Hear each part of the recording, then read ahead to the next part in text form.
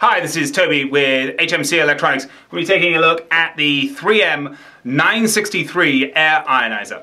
So let's very quickly talk about what is ionization. Ionization is the uh, balancing of uh, positive and negative charges on a product, on a device, on a surface through the application of a neutral charge. This ionizer is giving out a balance of both positive and negative electrons through the emitter points. Uh, positive emitter points, negative emitter points, 2 and 2 creates a nice flooded area. It's going to flood an area actually of about uh, two feet by four feet. The unit itself has a two-speed fan.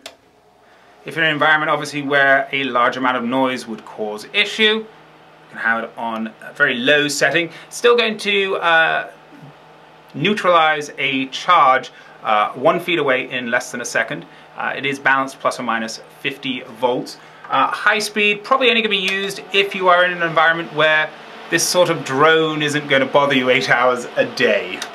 Let's uh, take very quickly a look at the unit itself. It measures 7 by 9 by 4, has this lovely little uh, base on it so you can uh, position it. It also can be used to be mounted, so you can actually unscrew this base and mount it inside a tool, inside something, uh, perhaps a robotic, a robotic soldering application where you actually want ionization inside the housing. Uh, you can remove that base, mount it right up in there.